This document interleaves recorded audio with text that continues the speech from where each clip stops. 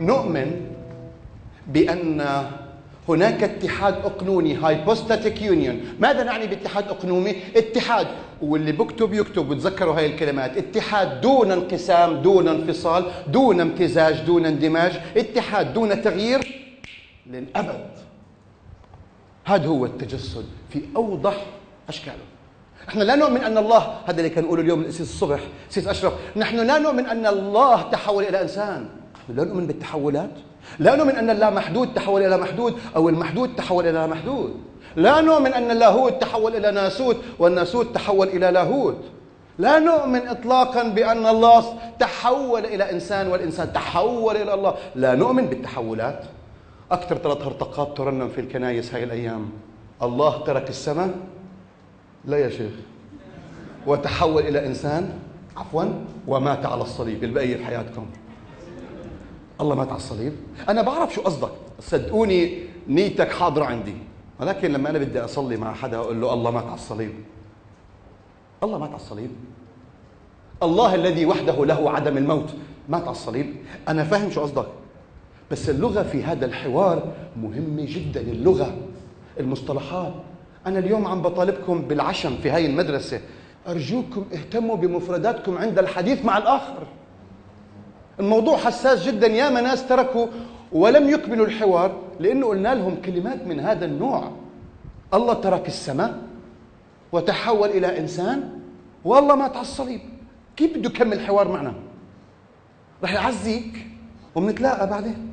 واحد كتب لي مرة بذكرى وفاة الإله في المسيحية ربنا يعزيكم وإن شاء الله آخر الأحزان. أنا مش عم بلومه. للأمانة كان حوار صادق جدا وأعتقد أنه هذا الإنسان هو هو أنا بكون على البيج بدي واحد يتبرع في الجملة هاي. هو هلا أعتقد أنه شخص يمتلك خدمة رائعة جدا. بس للأمانة عشان أقدر أوصل معكم لنتيجة بعض المصطلحات تحتاج إلى إعادة تعريف. جاهزين؟ أول مصطلح ثالوث. ماذا نعني بكلمة ثالوث؟ ماذا نعني بالثالوث؟ كلمة ثالوث ليست موجودة في الكتاب المقدس. ليست العقيدة موجودة في الكتاب المقدس.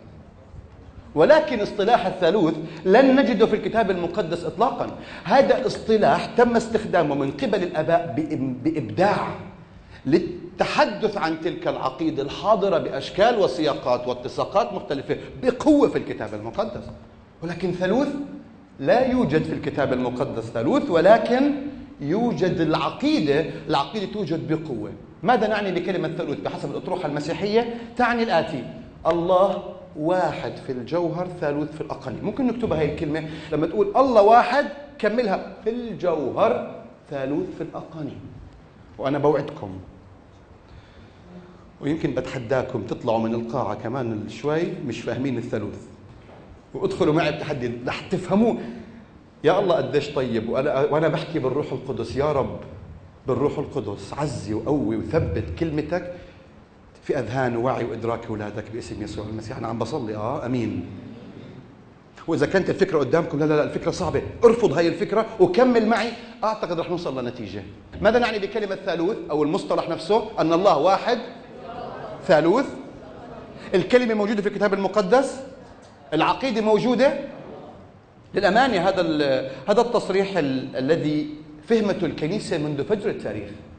ولم يكن تصريح حديث نسبيا كما يتم الترويج له بعض المفردات اللي بالإنجليزي أعتقد محتاج أساعدكم فيها ونتساعد مع بعض.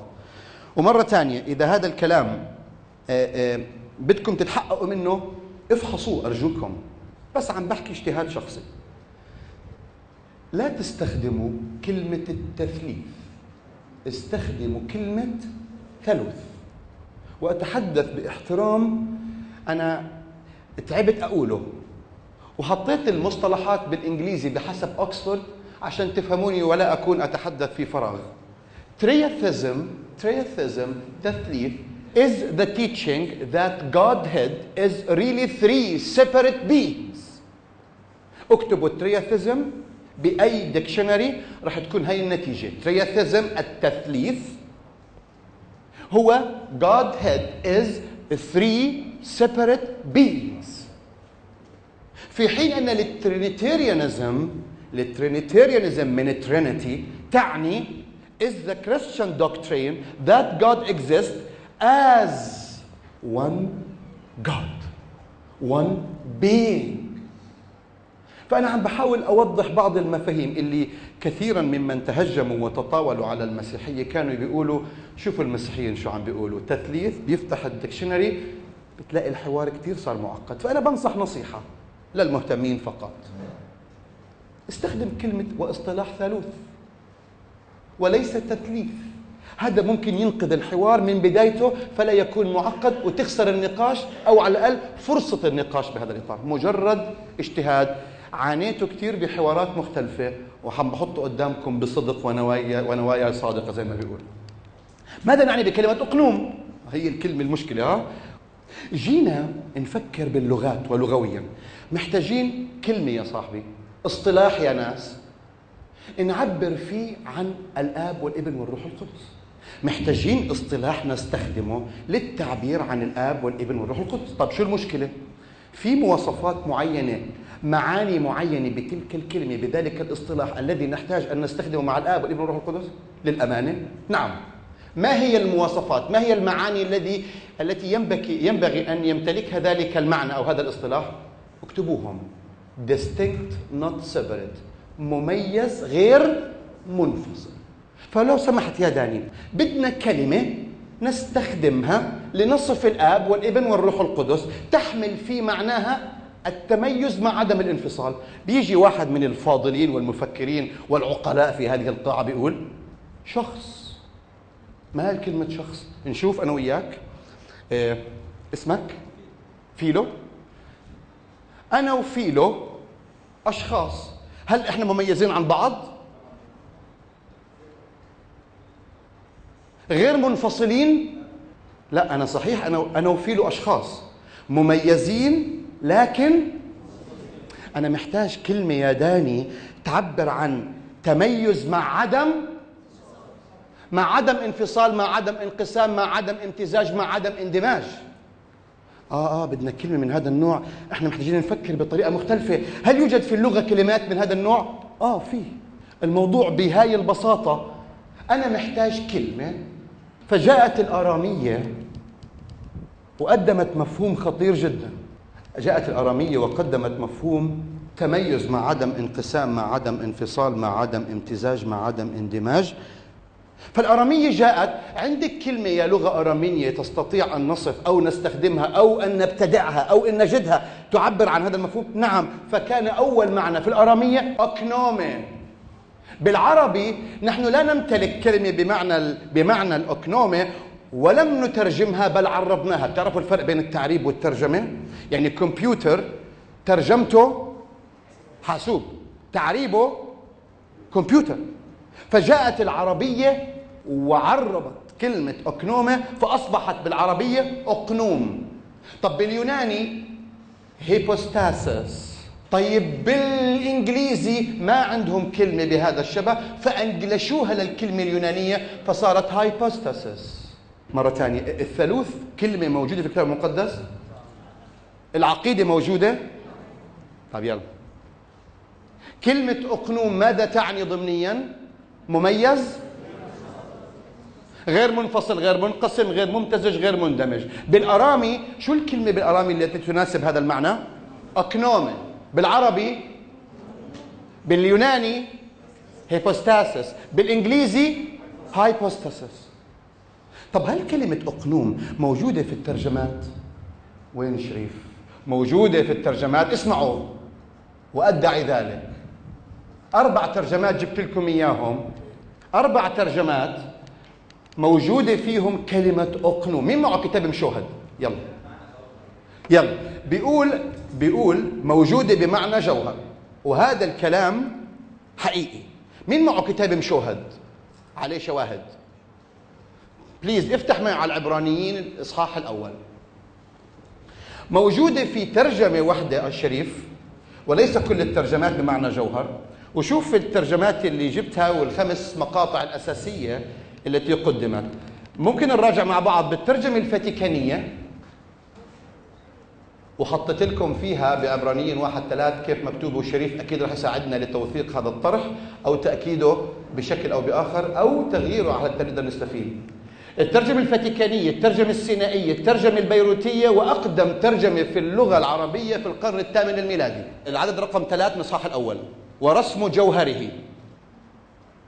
صح؟ في عليه حرف ثلاث فوق صح؟ رقم ثلاث. مزبوط؟ رقم أربعة رقم أربعة تحت شو مكتوب برقم أربعة صورة أقنومه صورة أقنومه مكتوبة ورسم جوهره بتروح على الشاهد انزل تحت حتى في الترجمات اللي بين ايدينا الترجمات الحديثة نسبة جدا. الحديث عن كلمة أقنومه كان حديث ليس حديث جديد فالحديث في هذا السياق مهم جدا. إياكم شكرا. كلمة أقنومه تحتاج إلى بحث ولكن تعاملنا معها يختلف عن الثالوث. الثالوث وصف لعقيدة. موجودة في الكتاب المقدس؟ الكلمة موجودة موجودة في الكتاب المقدس؟ كلمة أقنوم تختلف. يوجد تلميحات لها بطريقة أو بأخرى ورح نحتاج من شريف يساعدنا في توثيق هاي المعلومة بطريقة أو بأخرى حتى بالنسبة لي كشخصيا أستفيد. من جديد. إحنا كنا محتاجين اصطلاح نعبر فيه عن الأقنوم الآب عن الآب والابن والروح القدس. ما هي المعاني التي كنا نحتاجها؟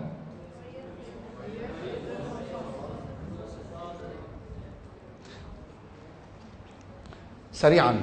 قضية بتهمنا في هذا السياق. شوفوا شو بدي أورجيكم هون. الأقانيم أو الآب والابن والروح القدس ليسوا صفات ليسوا أوجه ليسوا ظهورات. إياكم أن تعتقدوا أن الآب ظهر في العهد القديم كأب والابن ظهر أيام يسوع المسيح والأيام هاي يظهر الله كروح قدس. إياكم هذا ليس تصريح حقيقي. لا نؤمن بذلك.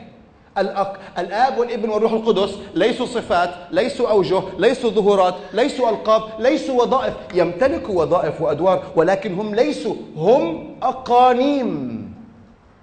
الصبح حضرتكم سألته الأسيس أشرف عن الظهورات. نمتلك ثلاث اصطلاحات ميزوا بيناتهم. في فرق بين الظهور والحلول والتجسد. صح هيك؟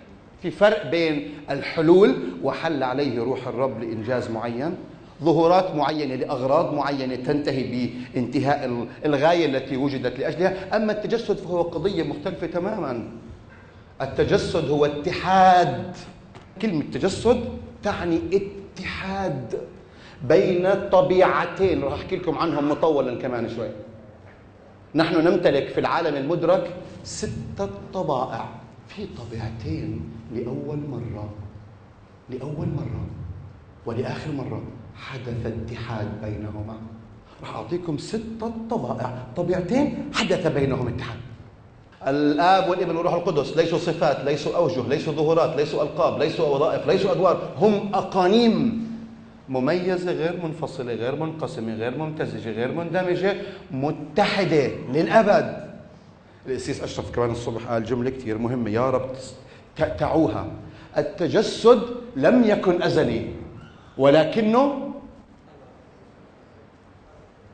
كثير مهم تميزوه قصدك داني مش التجسد انتهى والاتحاد بين اللاهوت والناسوت انتهى عندما ارتفع الله. إياكم أن ينفصل هذا. وإذا حدث ذلك الانفصال كارثة لا يوجد ما يستطيع أن إحنا اليوم تغفر خطايانا نبرر نفدى نصالح على الله نتم تبنينا نقدس وسوف يتم تجديدنا تجديدنا وتمجيدنا لأن اللاهوت متحد بالناسوت.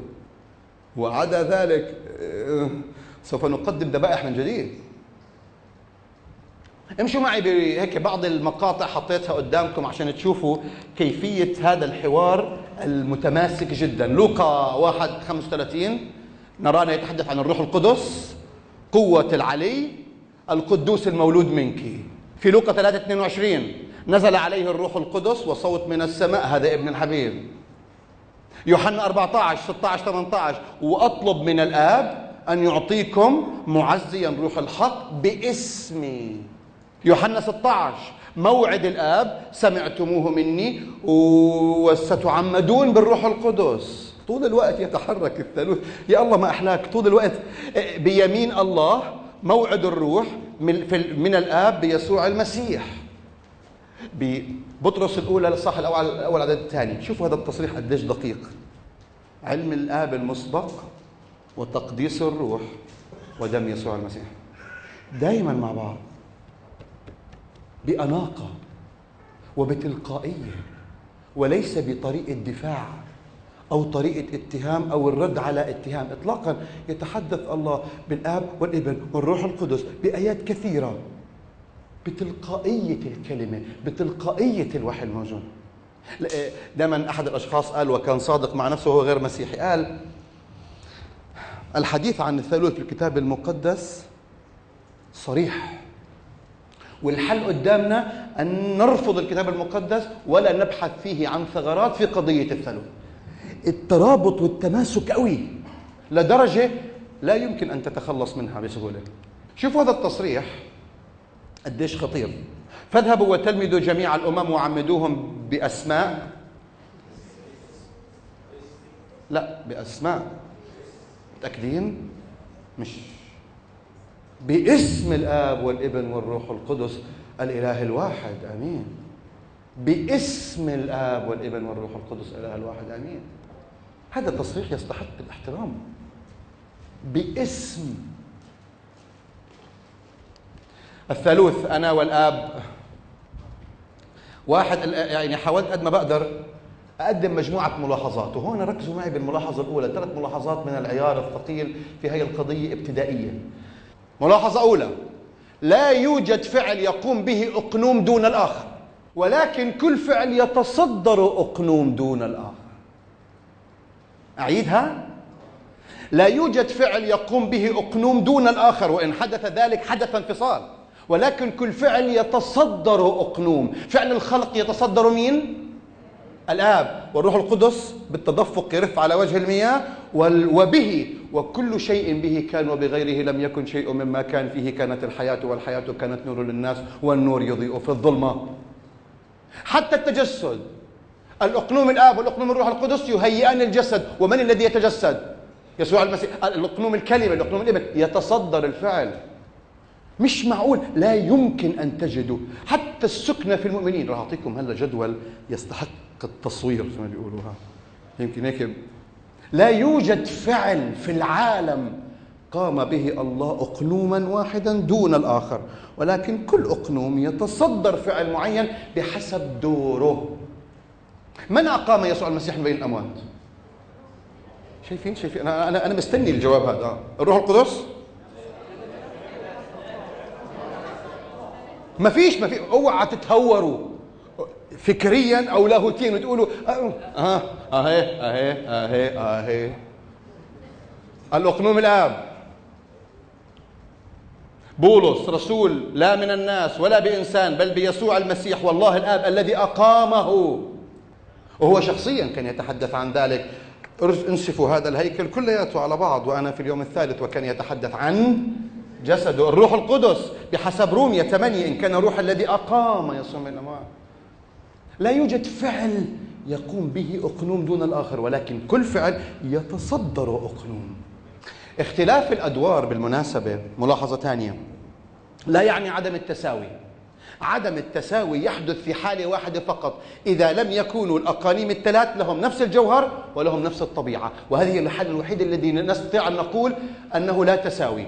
طب داني عندك آيات بتقول في الكتاب المقدس أن هناك تساوي بين الأقانيم وخاصة في ظل تلك الآية الشهيرة جدا أبي أعظم مني. جاهزين تستقبلوا كلمة حق؟ قولوا لي أمين جاهزين؟ اسمعوا.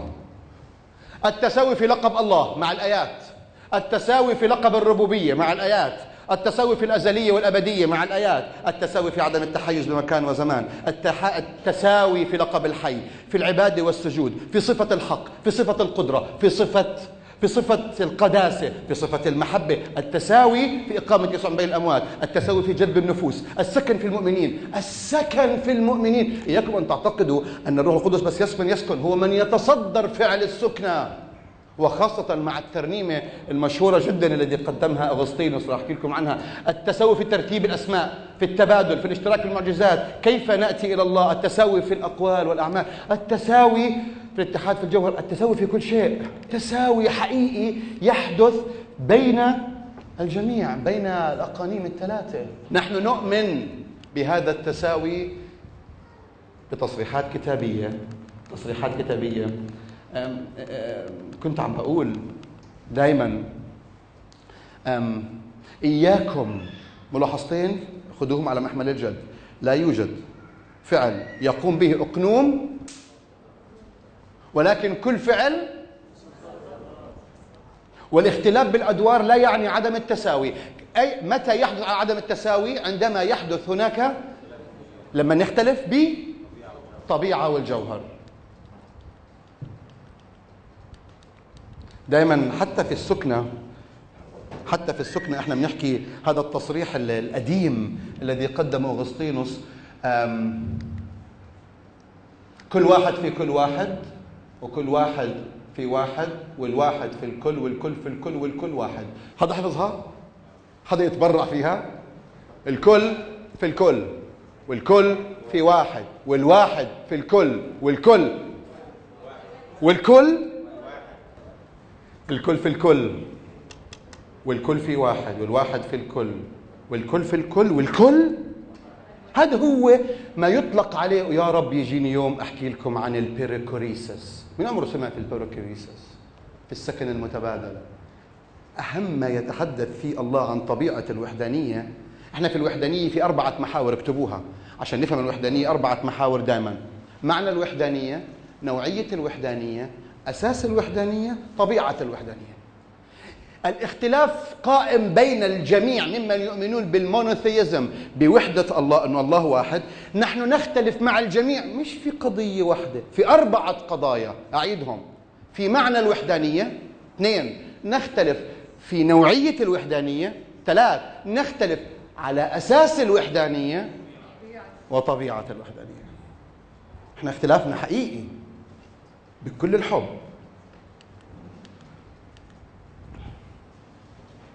سؤال هيك على الهامش عندما نخطئ نحن نخطئ في حق مين؟ في دباجة تنتشر بقوة انتشار النار هيك في ال... أننا نخطئ إنه إحنا إنه إحنا أخطأنا في حق الله الآب والآب غاضب علي وبده ينتقم مني ذلك الذي يحب الدماء بيجي الإبن ده ده عندي. فاحنا اتعلقنا في الإبن وحبيناه ولكن الإبن الآب نتقيه ونتقي شره. من أين لنا بهذه الصورة الوثنية؟ خافوا الله. الكتاب بيقول لماذا يغضب الله على قولك ويفسد عمل يديك؟ لأن ذلك من كثرة الأحلام وكثرة الأباطيل. اخشى الله. كثرة الكلام اللي من هذا. هي صورة وثنية ليس لا تمت للمسيحية بصلة.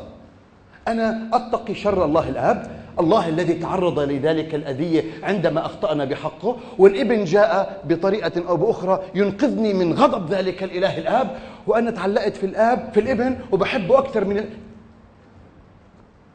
عمركم سمعتوا بالبسملة الأنطاكية؟ بشم ألوها رحمن ورحيمه بشم ألوها رحمن ورحيمه حدا عمره سمع باصطلاح الرحمن على أي وزن فعل؟ أنا بعرف الرحيم والرحوم. من أين لنا بهذا الاصطلاح الذي يطلق باللغة العربية عليه الرحمن؟ سؤال يعني للتاريخ فقط. للتاريخ فقط. حتى نفهم الثالوث أنا هون محتاج أقول لكم شو المشكلة. جاهزين تستوعب تستوعب المشكلة معي علشان نعرف كيف استطاع الثالوث أن يقدم نفسه بإطارات موثقة جدا في هذا الإطار؟ المشكلة كالآتي. لما تسألوا حدا هل الله موجود؟ الجواب بيكون هل لله ذات؟ ماذا نعني بكلمة ذات؟ أنا من الناس الذي أرفض أن أكمل أن أكمل في حوار مش فاهم مفرداته. ينبغي توضيح المفردات. وأرجوكم في أي حوار ونقاش وضحوا المفردات. هذا جزء أساسي من خبرة ونضوج. ماذا نعني بكلمة ذات؟ ذات تعني كل ما يستطيع التعبير عن نفسه بكلمة أنا. اكتبوها. كلمة ذات لما أقول لكم أن الله له ذات كل ما يستطيع التعبير عن نفسه بكلمة أنا ومن يستطيع التعبير عن نفسه بكلمة أنا هو من يمتلك إرادة عاقلة أو عقل يريد. عم بقول شيء صعب؟ ذات هو من يستطيع أن يقول عن نفسه كلمة أنا يخاطب بكلمة أنا بضمير أنا وما يستطيع أن يعبر عن نفسه بكلمة أنا هو فقط من يمتلك إرادة تريد إرادة عاقلة أو عقل يريد. مرة ثانية السؤال هل الله موجود؟ هل له ذات؟ للذات صفات وللصفات علاقات السؤال الكبير عم بحطه قدامكم هلا وهو مربط الفرس وحبكة كل موضوعنا مع من كان يمارس الله صفاته خارج الخليقة قبل ما حضرتكم تكونوا موجودين قبل ما المنظومة الملائكية توجد مع من كان يمارس الله صفاته آه في إجابات كثيره بتقول في هذا السياق بتقول لا لا لا إحنا مش محتاجين يكون في أقانيم علشان يمارس الله صفاته راح احطها قدامكم هلأ ولكم الحق تقتنعوا فيها أو ما تقتنعوا. هذا هو الأربع محاور الأساسية في فهم أي قضية بتخص الوحدانية. الكثير ممن يؤمنون بوجود الله يتفقون على أن الله واحد ولكنهم يختلفون على نوعية تلك الوحدانية. معنى الكلام يا أخي إيهاب إنه في أكثر من نوع من الوحدانية؟ نعم. واحد. إما أن تكون وحدانية مجردة وهدول الناس نزهوا الله عن الصفات وقالوا الله هو الكون أو الله في الكون. God is all أو God is in all. ولكن هو لا يمتلك صفات شخصية personal. ما عنده هو is not a personal. هو impersonal. هو لا شخصي. هذا حوار خطير جدا. في ناس بيقولوا الله واحد حقيقي ولكنه مجرد لا يمتلك صفات. هو في الكون أو هو الكون. God is all or God is in all. يعني بلغة ثانية pantheism or panentheism. وحدة الوجود أو الحلولية. عشان هيك بتلاقوهم هدول الناس ما بيقطعوا زهرة. اسألوهم ليش؟ بقول لك لأنه فيها الله. الله والكون شيء واحد أو الله في كل شيء في الكون. ونحن في المسيحية نؤمن أن الكون شيء والله شيء وفي علاقة تربط بينهما. وليست علاقة بالمناسبة علاقة في المسيحية. لا نؤمن أن الله ترفع ترفع وتعالى وتعالى وتعالى جدا عن التعامل مع البشر. أعطانا مجموعة من الشرائع. إن أطعتها فأنت في النعيم وإن لم تطعها فأنت في الجحيم. هذا ليس الحوار المسيحي اطلاقا. والدليل حادثة التجسد التاريخية تعرفوا لولا التجسد أنا كنت راح أكون deist ربوبي. أؤمن بوجود خالق لأن المعطيات التي أعاينها تؤيد ضرورة وجود ال uncaused cause المسبب غير المسبب. كثير واضح أن هناك محرك أول حرك كل شيء وهذا يعني خالق. لولا التجسد كنت راح آمن أن هناك خالق وليس إله. وليس إله. لكن التجسد حادثة خطيرة جدا. تعرفوا طول الوقت الناس بترفض دائما الأسئلة اللي بتنتشر هل يليق التجسد في الله؟ هل هو ضعف؟ هل هو هل هو؟ طول الوقت الحوار يدور بهذا الحوار بهذا السياق. بتسأل الناس لماذا تعتقدون ذلك؟ كانت الفكرة؟ إنهم بيعتقدوا إنه الجسد شر. وإن الروح محبوسه فيه وسوف تتحرر يوما ما عندما تتحد بالنيرفانا تلك تلك القوة الكونية. لما اجى يسوع لما اجى الأقنوم الكلمة وتجسد اعادت أعاد صياغة المفاهيم. جسدكم شيء شريف راقي. أقول لكم شيء خطير. نحن لا نؤمن في المسيحية بخلود الأرواح دون جسد ممجد. إحنا لن نتحرك في إطارات أثيرية هيك.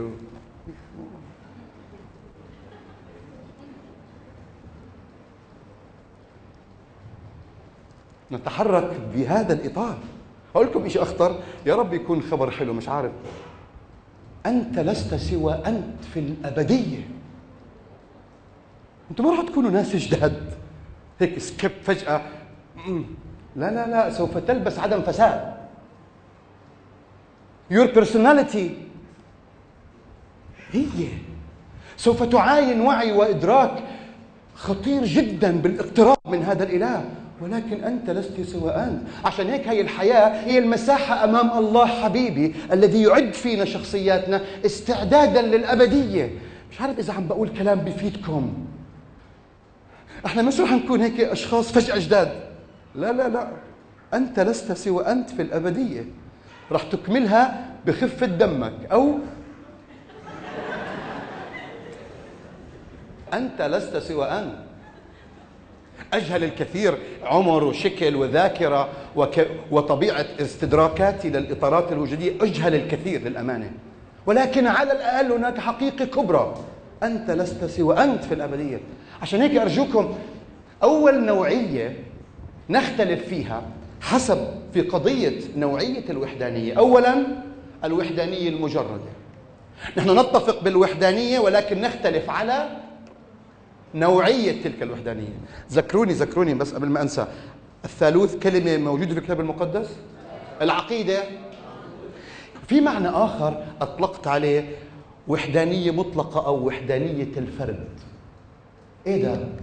وحدانية الفرد ترفض ولا تقبل وحدانية الفرد. إنجاز التعبير يعني جوهر واحد وأقنوم واحد. إنجاز التعبير جوهر واحد أقنوم واحد. في المسيحية نمتلك جوهر واحد و القضية قضية جوهر. القضية قضية جوهر.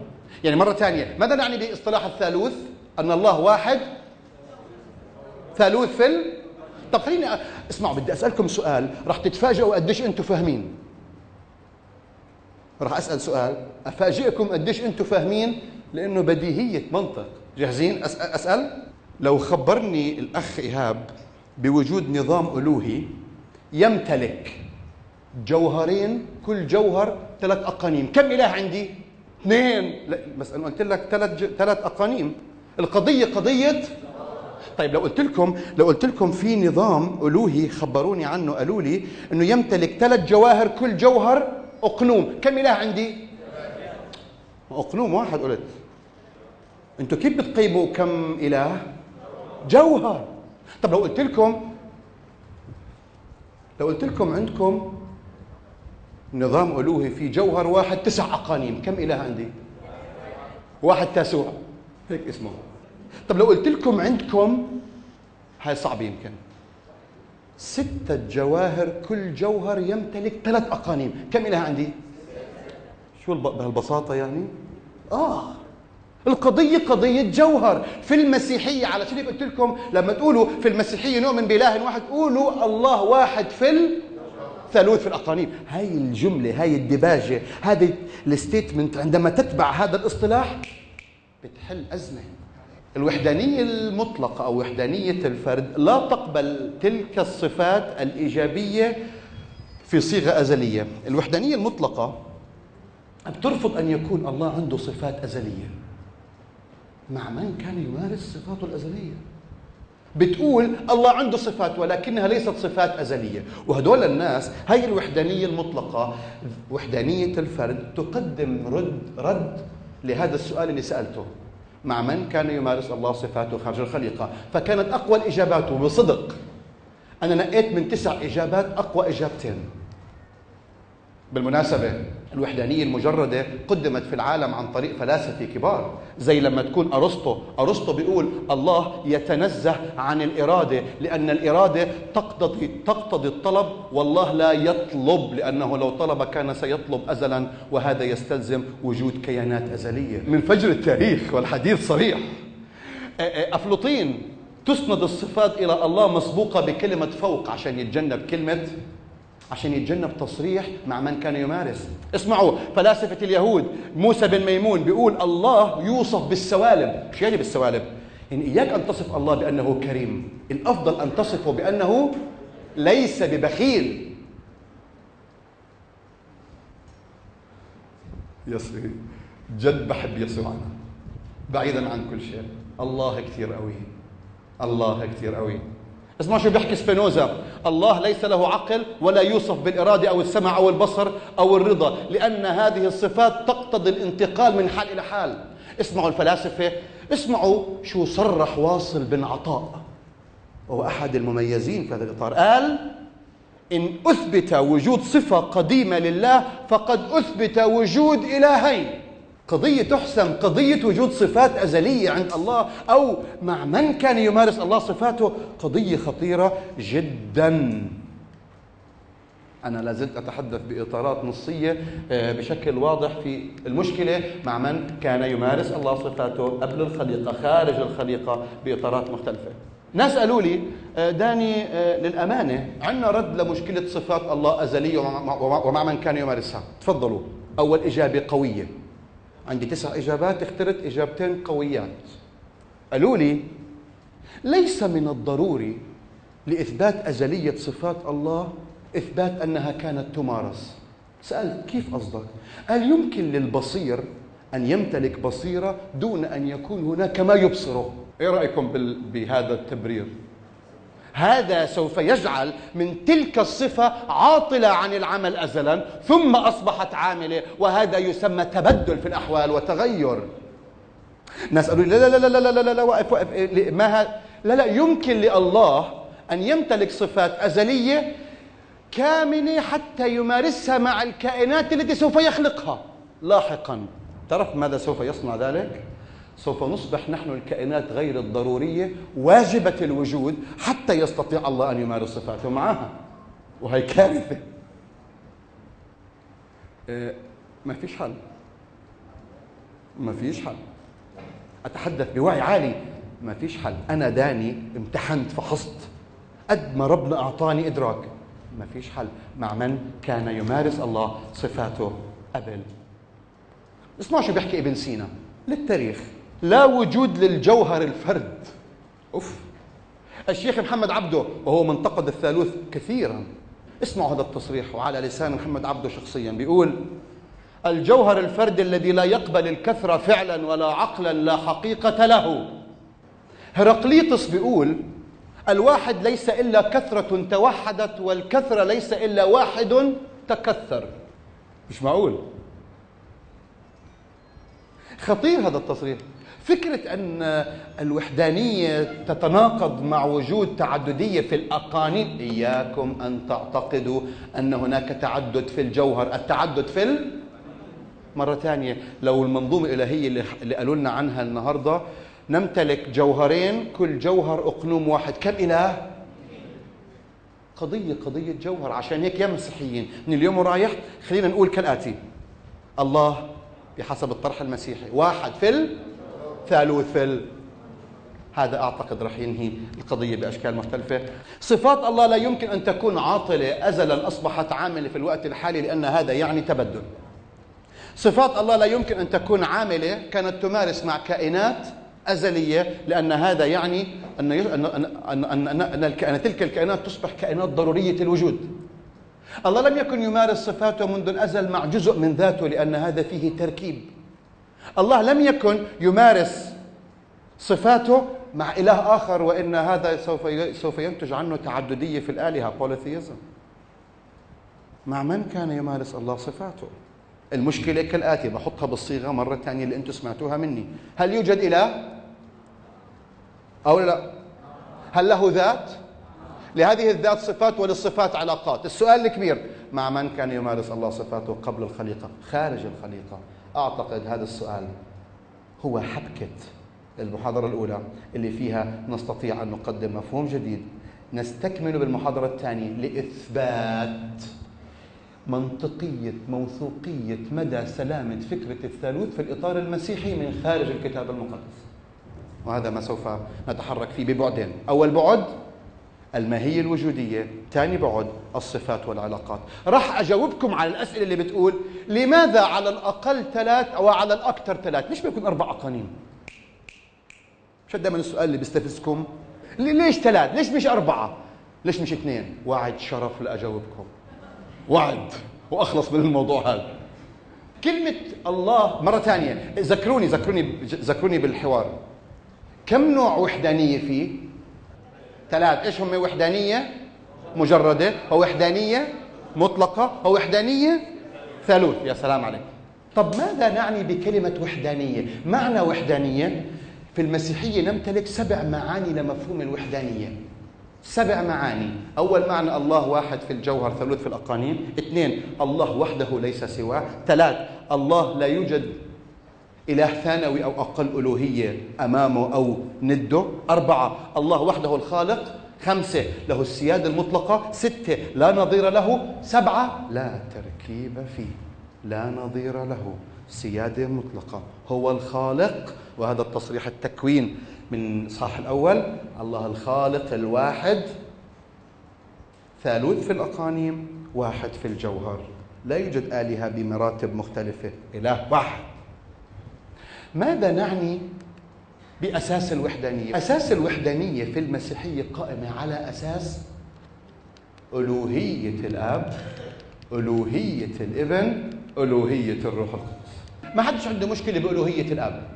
هناك حوار خطير جدا حول ألوهية الإبن وتحسس وحذر وتوتر في شخصية الروح القدس. الانتقادات دائما كانت حول يسوع المسيح. من هو هذا؟ والروح القدس شخصيته. هل هو قوة؟ هل هو مجرد علاقة؟ أو هو شخص؟ كيان حقيقي. أقنوم يطلق على الروح القدس. طبعا في هذا السياق الأبوة أبوة عامة وأبوة للأب يعني كلام يطول. بس هيك بدي أحكي لكم عن ألوهية الإبن بتصريح. شوفوا ألوهية الإبن واضحة من خلال أحاديثه من خلال أوصافه وألقابه. من خلال علاقته بالكون علاقته بالكائنات البشرية والخليقة وعلاقته بالأب. هذا خطير الفكر. تجاه الكون هو الخالق. حافظ الخليقة رئيس الحياة سيد الكون. اتجاه أعمال بشرية غافر خطايا. هذا المفلوج اللي سمعتوا عنه مغفورة خطاياك. يا الله قديش هذا الحوار موتر جدا وتصريحاته أعماله تجاه البشر كانت خطيرة جدا. آه علاقته بالآب حتى أحاديثه اسمحوا لي أزيد عن اللي يعني مش زيادة بقدر ما مشاركة كمان في هذا الإطار. لما لما قال أنا والآب واحد الكتاب بيقول هيك عشان أكد لكم التصريح اللي تقدم في هذا الصباح. اليهود فهموا ماذا يقول وماذا يدعي. الكتاب بيقول بيوحنا 10 33 فتناول اليهود أيضا حجارة ليرجموه. متذكرين؟ فسألهم أعمال كثيرة؟ عملت قدامكم. عن أي عمل منهم ترجمونني؟ فقالوا أجابه اليهود قائلين لسنا نرجمك لأجل عمل حسن بل لأجل تجديف لأنك تدعي. فهموا عليه؟ فهموا عليه؟ حتى في إطار حوار المعقد مع اليهود لما قال لهم قبل إبراهيم وإبراهيم بالنسبة لهم رمز وتصريح خطير جدا. ألوهية الإبن حاضرة بقوة. هيك إياكم أن تعتقدوا هذا السؤال اللي كان بيحكي الذي أطلق هذا الصباح. الطريقة الوحيدة إنه المسيح يعلن عن ذاته أنه هو الله الظاهر في الجسد هي من خلال تلك الألقاب. المسيح اللوغوس ابن الإنسان ابن الله الرب أنا هو. هذا هي الطريقة أي حدا يدعيها يكون يعلن أنه هو الله. هذا تصريح خطير جدا وليس بمجرد أن تقف في حواري أورشليم وتقول أنا الله. لا سوف يتهمك الناس بالجنون بعيدا عن أي شيء آخر. عشان هيك أساس الوحدانية في المسيحية قائمة على أساس ألوهية الآب ألوهية الإبن ألوهية الروح القدس. مرة ثانية نوعية الوحدانية كم نوع وحدانية عندنا؟ احكوا لي إياهم. وحدانية مجردة ووحدانية الفرد المطلقة ووحدانية البعد الثاني اللي معروف دائما معنى الوحدانية وأخيرا وليس آخرا أساس الوحدانية. هذا هو التصريح الأخير الذي أقدمه في هذه المحاضرة والمحاضرة الثانية إثبات الثالوث بإطارات وجودية ومن خلال الصفات والعلاقات حتى نوصل لنتيجة. باخذ أسئلة. يعني اسأل. اس اسأل باجتهاد صادق تعرف مش لمجرد الجدال. الله رحوم. رحوم. هي مش صفة؟ صفة. هي صفة لله. فمن كان يرحم سابقا هيك قصدك؟ يلا. في المسيحية نؤمن بوجود صفات رئيسة. صفات رئيسية هي التي منها ينبع كل مواقف الله والصفات الثانوية. اسمعوا هذا اسمعوا هذا التصريح وخذوه على محمل الجد. يعني اليوم أنا شخصيا أرفض جملة وأتحدث كأب. أرفض أن أؤمن بإله لا يغضب مثلا لأني أب. لكن هذا الغضب الذي يقدمه الله لنا هو ليس إلا ناتج عن قداسة وحب. لما أشوف ابني حاطط سكينة بالفيشة كده وبيلعب فيها رح تلاقوني غضبت. بتعرف ليش غضبت؟ ليس انتقاما. غضبت لإني بحب ابني. سوف يقضي على نفسه ويضع نفسه في التهلكة إذا حط سكينة في فيشة. فكرة أنه الله يرحمه الله يغفر. الله الله يرحم الله يغفر والله يغضب. كلها صفات نابعة من قداسة. حب عدل اقتدار وقدرة. ومن ضمنها ينتج المواقف الأخرى الناتجة عن والتابعة والمرتبطة بتلك الصفات الرئيسية. السؤال رحوم مع من كان يرحم؟ صح هذا السؤال؟ لم يكن يرحم أحد لأن الرحمة فعل الغفران فعل ناتج عن حب. أنا غفرت لإني بحب. بس لم يكن هناك موقف يستدعي الغفران قبل الخليقة. لكن الحب حاضر؟ طبعا رح تشوفوه. قداسة حاضرة. بالمناسبة لما نقول الله قدوس ماذا يعني ذلك؟ أغلب المسيحيين في الشرق الأوسط بيربطوا الله قدوس بمنظومة أخلاقية. مين قال؟ الله قدوس يعني كامل الصفات. كامل. والبر هو عمل تلك الصفات الكامله معا. قدوس قدوس قدوس تعني أن كل صفات الله كاملة. عشان هيك أرجوكم عندما نتحدث عن صفات الله خارج الخليقة دائما توجهوا نحو تلك الصفات الرئيسة وتساءلوا عنها. كمان سؤال. قلت إن الله مش مش بينفصل عن نفسه لا يمتزج ولا ينفصل. في الأقانيم. الاقانيم آه لا هي هي متميزة دون انقسام دون انفصال دون امتزاج دون اندماج. وفي كل حاجة بتحصل في أقنوم هو اللي بيبقى متقدم. أقنوم يتصدر ولا يوجد أقنوم يقوم بفعل دون الآخر. okay طيب في حاجة مثلا زي الصلب لما الابن قال لما الابن قال إن هو فين ربنا؟ فين الآب؟ أنتوا عارفين قد قديش فينا ناس هون لهم لهم الكثير من الحوارات في قضية الي إلي لما سبقتني برغم اختلاف التفاسير الموجودة الجميع يتفق وهذا أتحدث بوعي شخصي مستعد أتحمل اختلافه مع أي شخص آه، مقتدر لاهوتيا في هذا المكان. هذا التصريح لا يتحدث اطلاقا عن أن هناك انفصال حدث بين اللاهوت والناسوت. هل يوجد هنا من يؤيد ذلك الانفصال؟ أيوه أيوه. في ناس رفعوا رأسهم.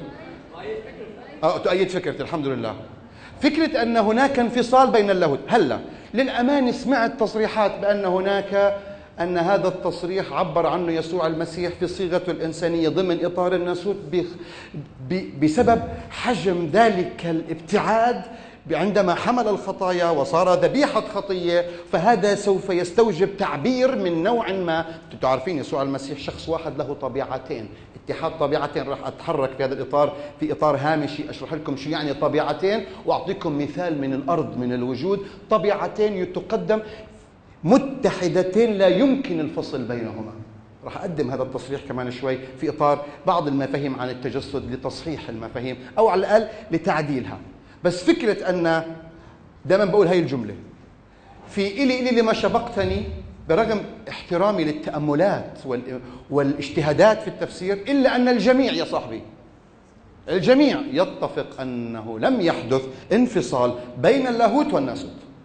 أي اجتهادات أخرى للأمانة أمتلك اجتهادات بعتقد أنها تحترم وغيري موجود ولكن برأيي في هذا الحوار أهم ما في القضية أنه لم يحدث انفصال بين اللاهوت والناسوت عم بحاول أقرب من جوابك من سؤالك. بليز من الكلام اللي هو عن الوحدانية ده آه ال- اليهود اللي اللي قروا العهد القديم طلعوا منه بال بال بال بأنهي نوع من الوح من من, ألو من الوحدانية اللي إحنا خدناها حلو سؤالك. بيسألني اليهود أي مفهوم عن الوحدانية كانوا يعتقدون؟ هل هو وحدانية مجردة أو وحدانية مطلقة وحدانية الفرد أو وحدانية في ثالوث؟ على الأكيد ليست في ثالوث ولكن للأمانة أقول أعتقد أن مفهوم الوحدانية في العهد القديم كانت التلميحات فيه تتحدث عن كيان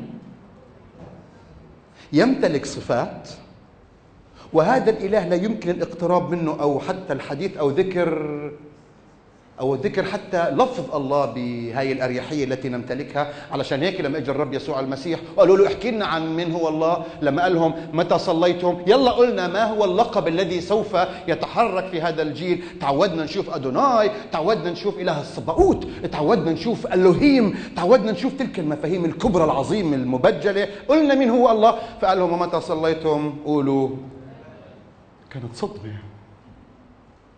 كانت صدمة. أنا أنا أنا أنا أنا بستغرب دائما إنه في ناس بيعتقدوا إنهم لو كانوا زمن أيام يسوع المسيح كانوا سوف يكونوا من التلاميذ.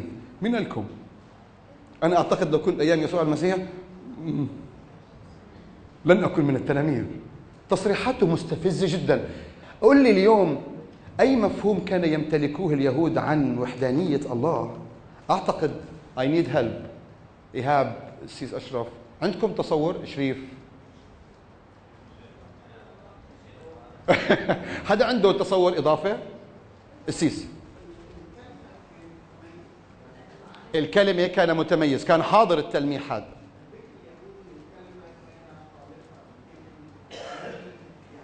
هل هم من هي الكلمة يستطيعوا استنتاج؟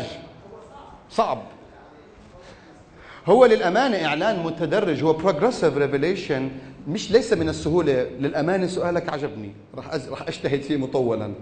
بس أي كيف كان ينظرون إلى الله الآب في مجمع الآلهة أو ال- إلى الله بال- بالمجمل؟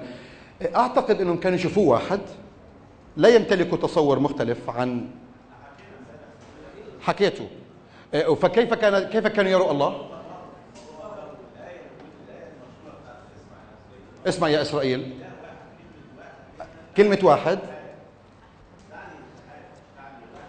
انترستنج فواضح إنه هم كانوا يشوفوا الله واحد ولكن صيغة الوحدانية ليست المجردة وغير المكتملة في ثالوث وذلك الإعلان أكمل واكتمل في العهد الجديد. فأنا قادر أقولها بهاي الصيغة ضمن إطار معين بقدر أكمل بعدين إذا بتحب. أين التمايز في كون الله روح والروح القدس وكنوم الروح القدس روح؟ للأمانة هذا تصريح يعت- يستحق الاحترام. في عملية لبس في الأسماء وخاصة في اللغة العربية. هناك خمس مفاهيم نعتقد أنهم مفهوم واحد. في فرق بين الله طبيعته روح. اثنين يختلف عن الروح القدس اسمه الروح القدس. ثلاث يختلف عن نسمة الحياة اللي إحنا بنقول عنها روح breath of life تختلف عن أربعة عن الروح الإنسانية. خمسة تختلف عن مفهوم الروح الملائكية. هدول خمس مفاهيم مختلفين عن بعض. إحنا في الأردن في العرب يعني في بشكل عام كل روح الله روح من حيث الطبيعة وسوف نتطرق له طويلا. اسم الروح الأقنوم الثالث الروح القدس هذا اسم له اعتبارات كثيرة جدا. يا ريت معي وقت أحكي لماذا سمي الله الآب آب وبالمناسبة آب ابن اسم علاقة. يعني لا يمكن أن يكون الله آب دون أن يكون له يعني أنا طول عمري اسمي داني لما صرت أب كان لازم وهذا يستدعي أن يكون هناك ابن. اتركوها على الهامش. آه، بعدين بشرحها يوما ما. في فرق بين الله طبيعته روح واسم الروح القدس. يختلف هذا عن مفهوم إنه الملائكة كائنات روحية. يختلف عن الإنسان الذي يمتلك روح ضمن إطار لا مادي أو الإطارات المادية وكلمة الروح عند الإنسان التي تحتوي ال intuition. وتحتوي ال conscience وتحتوي ال communication element with God. آه، حتى في الإطارات اليوم في مدارس مختلفة في هذه القاعة. ناس تؤمن بوجود روح نفس جسد وناس تؤمن بوجود نفس وجسد مكون مادي ومكون غير مادي. ايا كانت المدرسة اصطلاح الروح الإنسانية تختلف عن الروح الملائكية تختلف عن اسم الروح القدس تختلف عن الله طبيعته روح تختلف اختلافات جذرية. فالتمايز بالمعنى كبير جدا. طبيعة. الروح اسم الروح القدس. إحنا تفكرتهم واحد وهما مختلفين تماما من حيث المعنى. آخذ كمان سؤال. حد كده؟ آه آه sorry سامحني please هو بيقول إن الغفران صفة جت بعدين أو الله عملها بع- بعد الخليقة. ليه ما قلناش إن ده استحداث أو تغيير في في طبيعة الله؟ يلا. سريعا زي ما قلت لك الغفران ينتج لحدث وهو موقف إلهي وردة فعل إلهي على حدث صار قدامه على تعدي من نوع ما من الإنسان أو الإنسانية عموما. دافع الغفران حب. الله يغفر لأنه بحب. الحب حاضر منذ الأزل. لكن موقفك كشخص تستحق أو الله يريد أن يمارس الغفران معه هذا شيء جديد. رد الفعل الفعل نفسه جديد. ولكن الصفة القائمة والتي أقيمت عليها هذا الموقف حاضرة منذ الأزل. حب نفس القداسة نفس مفهوم الغضب اللي كنت عم بقول لكم عنه. نفس مفهوم الغفران اللي عم نحكي عنه هلأ. دائما توجه إلى تلك الصفات الرئيسة التي منها ينتج أفعال. تذكروا هذا التصريح. كل مواقف الله وردود أفعاله نابعة من طبيعته وطبيعته فيه صفاته وليس من شيء آخر. أي موقف سوف يقوم به الله؟ آه هي حلوة هي هي رح تفيدكم. كل موقف يقوم به الله تكون كل الصفات معا حاضرة. ولا تسقط صفة من أي موقف. اياكم أن تعتقدوا عندما يغفر تكون تكون العدالة قد سقطت. كله حاضر على نفس المستوى. دائما مواقف الله وردود أفعاله تجاهنا نابعة من طبيعته. من طبيعته فدائما وهو يغفر وهو يغضب وهو يدين وهو يرحم وهو يترأف وهو يصرخ غضبا. لا لا. لما أحكي لابني سند لا. إياكم أن تعتقدوا انه الحب وقع وعدالتي. ووضوحي كأب واهتمامي فيه لا لا لا. كله حاضر بنفس الوقت. فصفات الله حاضرة دائما طول الوقت. فالغفران حدث جديد لخطية أنت عملتها. قائمة على أساس حب. كان في الله ولا يزال وسوف يبقى إلى الأبد. شكرا لكم. نراكم محاضرة ثانية.